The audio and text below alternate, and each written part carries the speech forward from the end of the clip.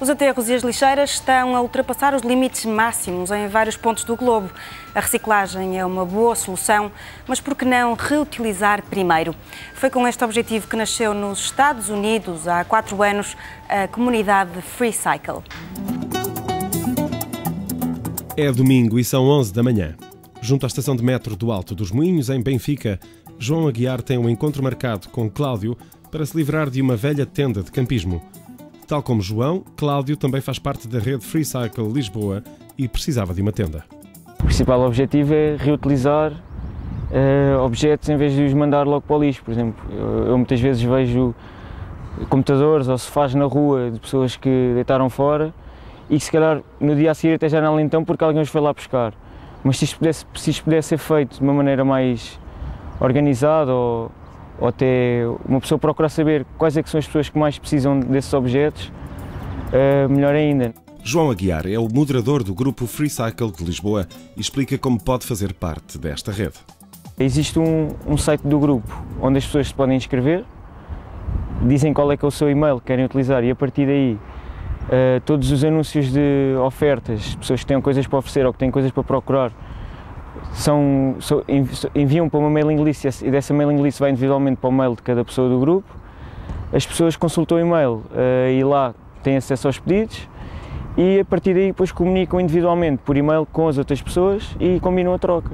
A ideia é tudo o que as pessoas tiverem em casa que já não, já não têm, já não têm uso, que se calhar possivelmente até estavam prestes a mandar para o lixo e que acham que outras pessoas podem utilizar, então devem anunciar para a lista. Foi nos Estados Unidos que tudo começou na cidade de Tucson, no Arizona. No dia 1 de maio de 2003, foi enviado o primeiro e-mail para um grupo de pouco mais de 30 pessoas.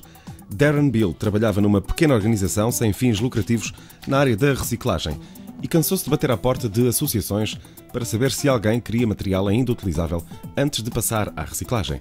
Surgia assim um movimento que já tem mais de 4 mil comunidades, espalhadas por mais de 75 países, com 3,5 milhões de membros. Em Portugal, já existem grupos em Lisboa, Porto, Coimbra, Braga e Aveiro. Mas se não tem um grupo FreeCycle na sua zona, por que não criá-lo?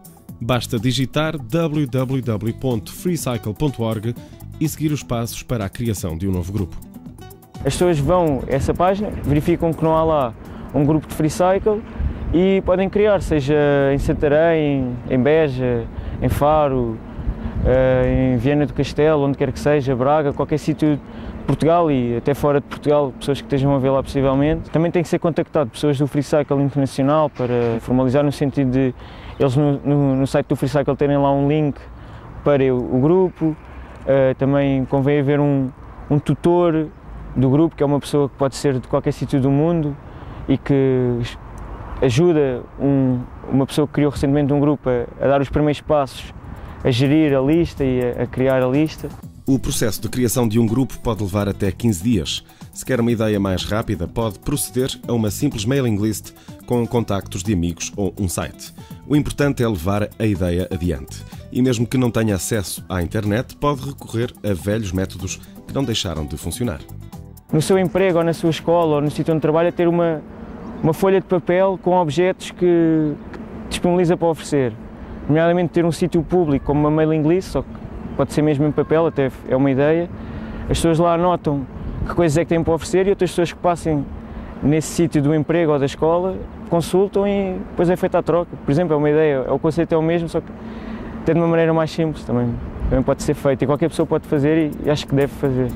O Biosfera aceitou o desafio e inscreveu-se no grupo Free Cycle do Porto. Para começar, encontramos dois computadores que já não são utilizados. O passo seguinte foi enviar um e-mail ao grupo a comunicar o que estava a ser oferecido.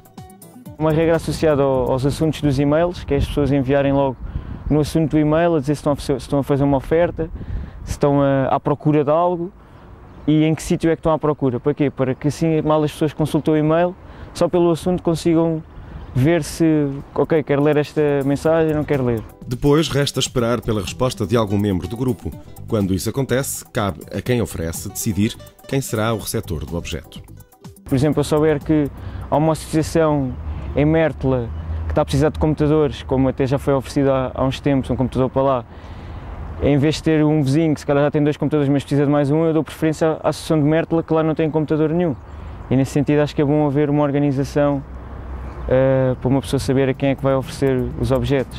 Passo seguinte: combinar um local para a troca. Por uma questão de segurança, convém que o local não seja a habitação de qualquer dos intervenientes. Com este método de reutilização, estes dois computadores ainda terão mais alguns anos de uso antes de serem reciclados.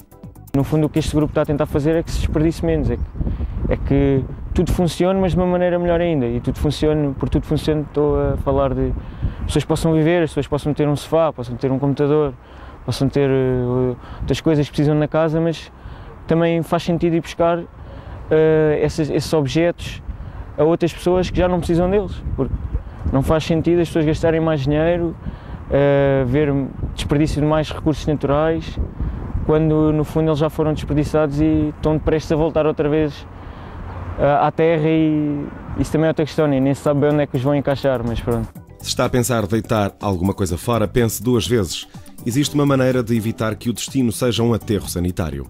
Todos os dias há 300 toneladas de todo tipo de objetos que ficam longe dos aterros graças à rede FreeCycle. Junte-se a uma destas iniciativas ou crie mesmo o seu próprio sistema. O importante é fazer a sua parte, contribuir para um planeta cada vez mais verde.